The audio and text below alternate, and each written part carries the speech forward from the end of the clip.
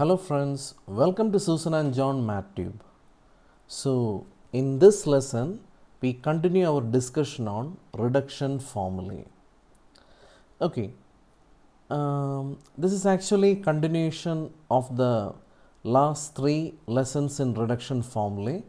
The only difference which you will see here is we are going to do a few problems related to definite integration. So please write the question. Find a reduction formula for the integral 0 to pi by 4 tan to the power nx dx. We have done the same problem but um, in that video the limits were missing. Also find integral 0 to pi by 4 tan to the power 5x dx. So we start like this.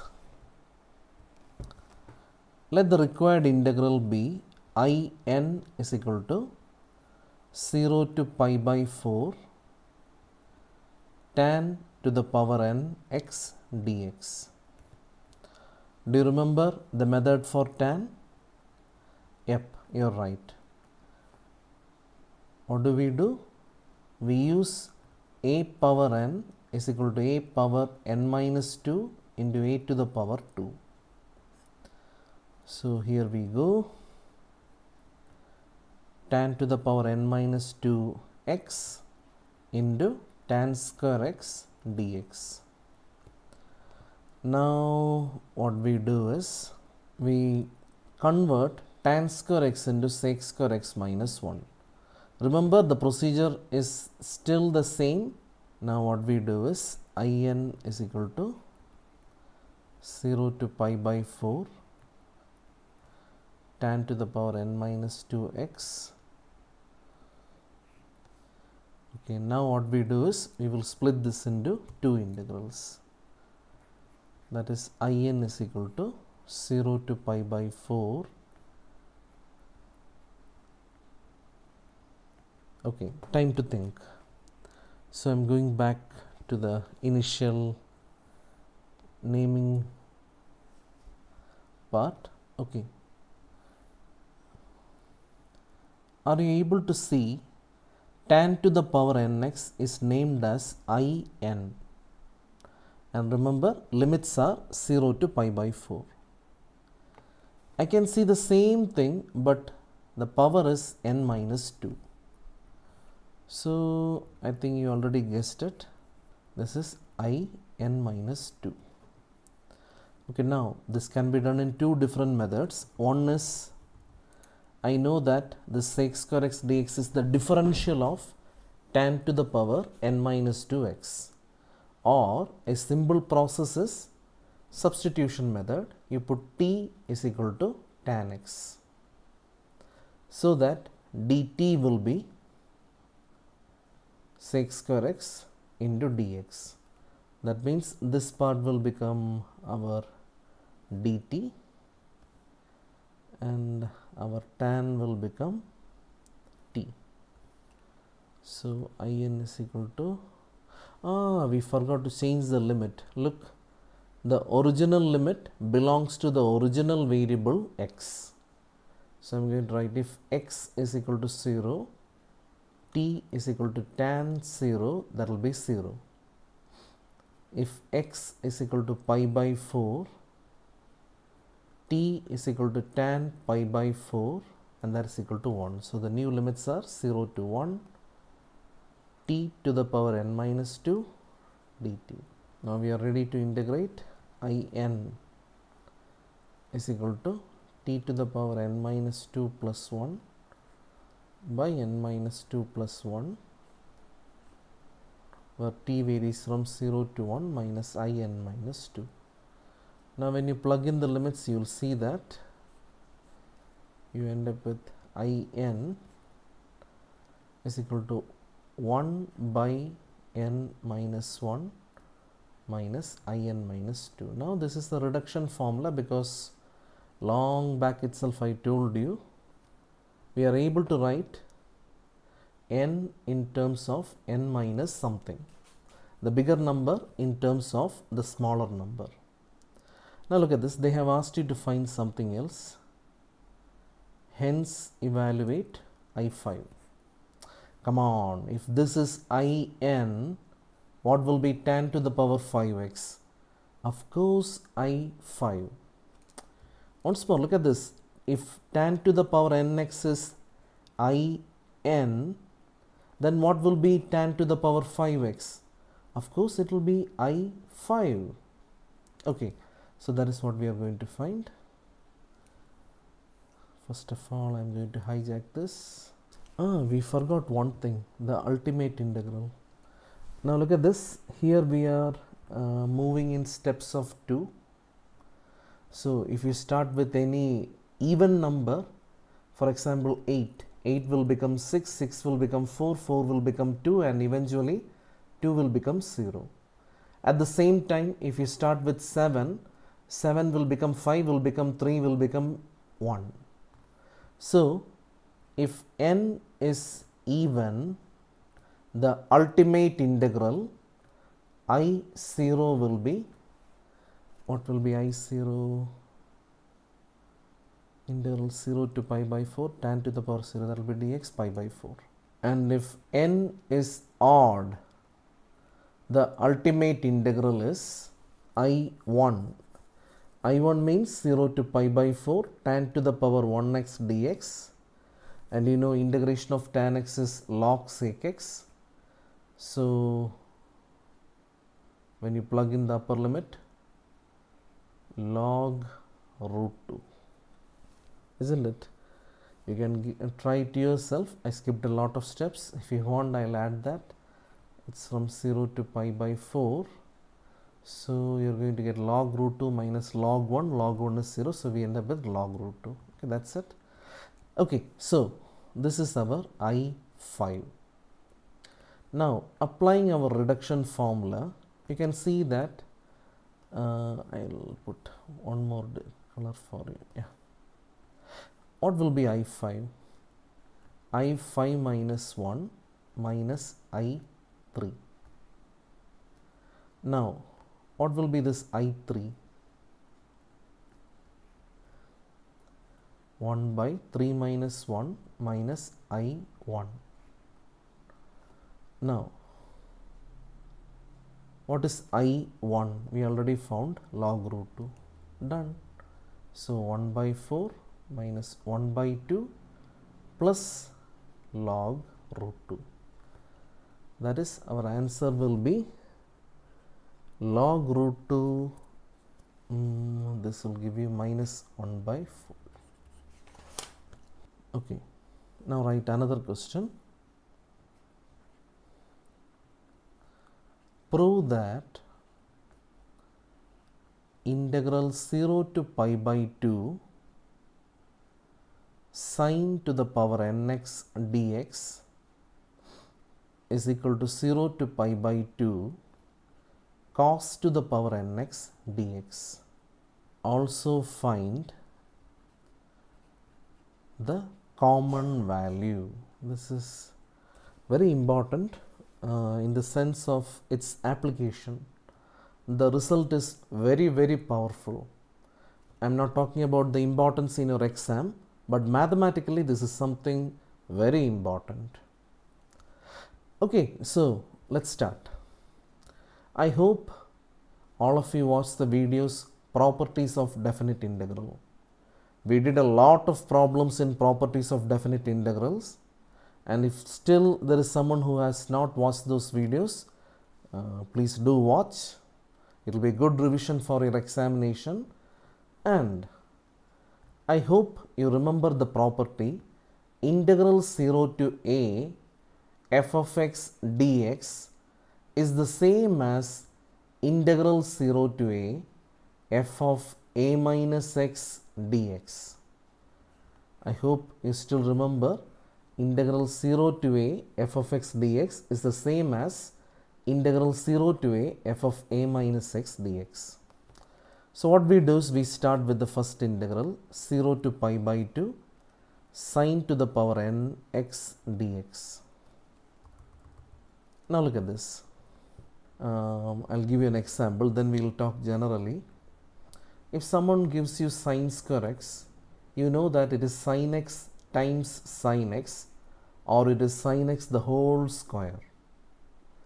If we have sine cube x, you know that it is sine x the whole cube. If you have sine to the power 4x, it is sine x to the power 4.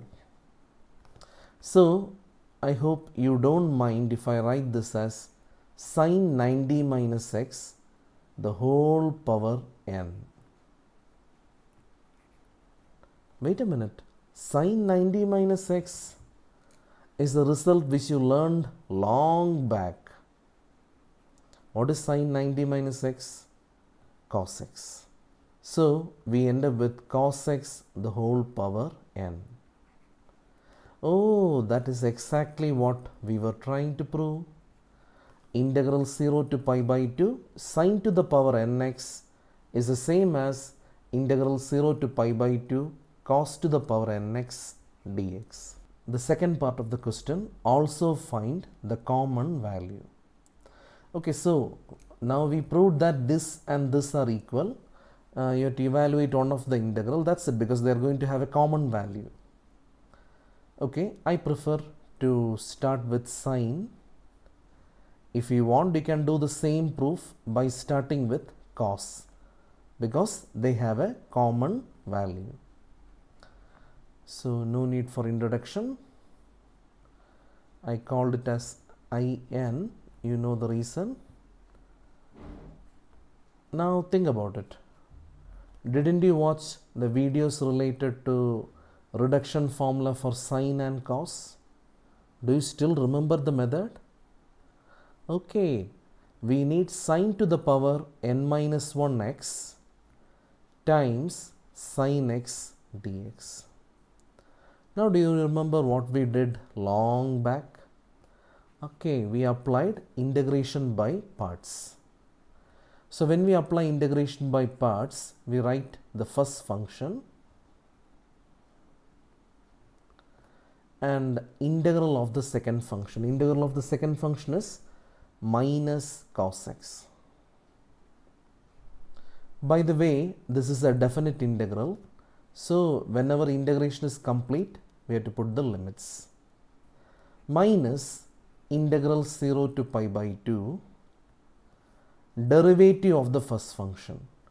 So, n minus 1. If you want more explanation, you can check out those videos, reduction formula. This will become n minus 2 into cos x and of course the same quantity. Now look at this, something very interesting. When you plug in the upper limit, when you plug in the upper limit instead of our what you call argument x, I can see we are going to get cos 90. Cos 90 is 0. 0 into something will be 0.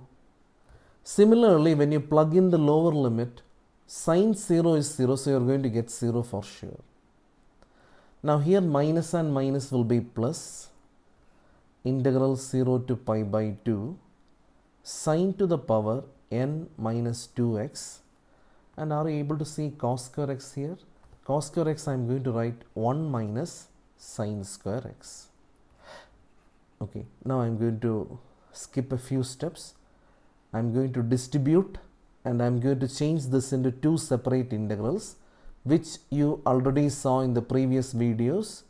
So we get 0 to pi by 2 sine to the power n minus 2x dx minus 0 to pi by 2 uh, sine to the power n x dx and one n minus 1 is here. It should be outside over here. So we get n minus 1 here n minus 1 here. I hope you understood. I skipped a lot of steps. I'll explain once more. n minus 1 goes outside. Let it wait there. Cos x into cos x is cos square x. Cos square x is 1 minus sine square x. Distribute it. Distribute n minus 1 we get this. Okay so in becomes n minus 1 you know who's this yeah minus n minus 1 into, I am sure you recognize this person in. Now, we cannot call this as a reduction formula because the bigger number is not in terms of the smaller number. The bigger quantity should be completely in terms of the smaller quantity if you want to call it a reduction formula. So what we do is a very simple process. We take it to the left side. Okay. Now, what is common to this? IN. Ah, here we go. We have the reduction formula. Now, we still do a lot of things. First of all, let us write the ultimate integral. So, you know the fact you have seen so many times whenever n becomes n minus 2, there will be two ultimate integrals I0 whenever n is even and I0 means you have to go back to the question, put 0 over here, dx x x pi by 2. So, I0 is pi by 2 and I1 is integral 0 to pi by 2 sin x dx. And you can calculate it it's not a big deal. You will get the answer 1 so here we go with the ultimate integrals. Yeah. Now now look at this. Now comes something very very very very very important. So look at this. We have a reduction formula.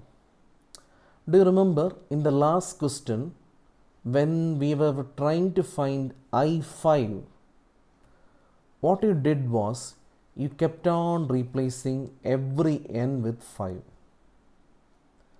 Later we found i3 and how did you find i3? You replaced every n with 3. Now look at this. I am going to do something which might sound a little bit weird for you. Look, I want i n minus 2. Can you see? I want i n minus 2. So I am going to replace every n with n minus 2. So let's give it a try. n minus 2 minus 1, n minus 2, n minus 2 minus 2. Okay. Now I am going to apply the same rule. How do I find i n minus 4? replace every n with n minus 4. So, we are going to get n minus 4 minus 1 by n minus 4 i n minus 4 minus 2. Okay, we will keep on applying this n minus 1 by n, n minus 3 by n minus 2, n minus 5 by n minus 4, n minus 7 by n minus 6 i n minus 8.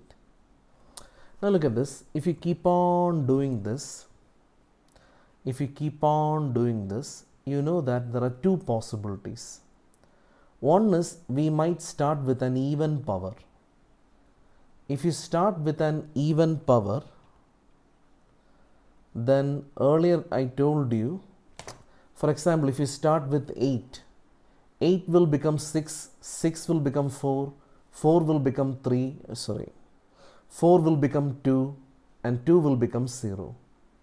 Even if you start with 100, the same things will happen like what you call 100 becomes 98, 96, eventually 50, eventually 20, eventually 10, eventually 2 and 0. So, what I am trying to convince you is if n is an even number, you will eventually end up with I4 into I2 into I0. We don't care about these things, but you have to understand eventually we will reach I0 if n is even. Now, similarly, if n is odd, the rule will be same. The rule will be same, but you are eventually going to reach I1 that is in is equal to